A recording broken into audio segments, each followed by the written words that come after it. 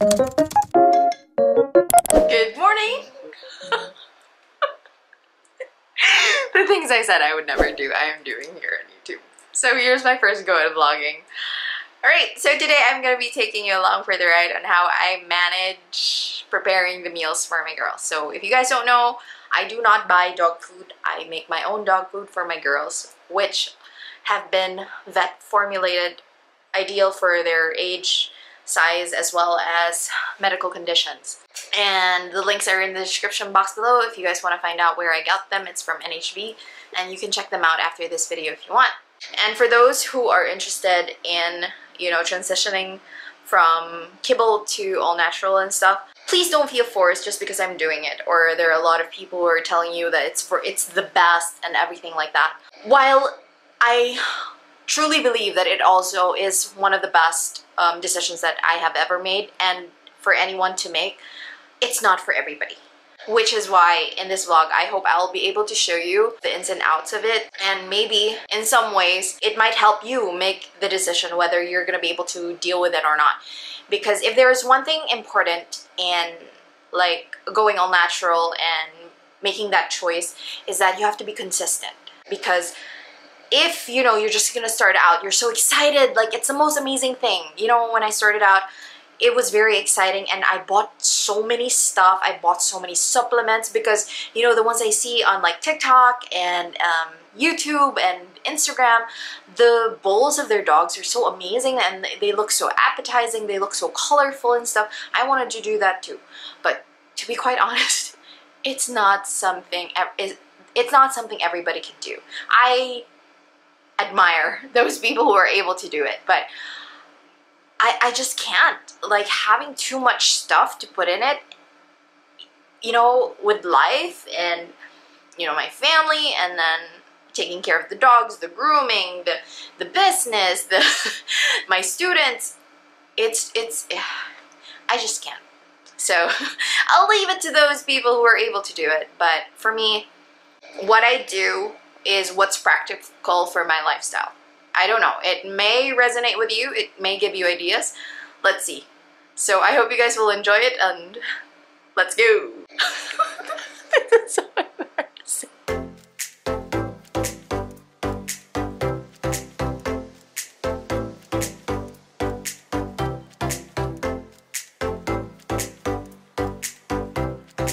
Let's go. This, this is such a weird getup.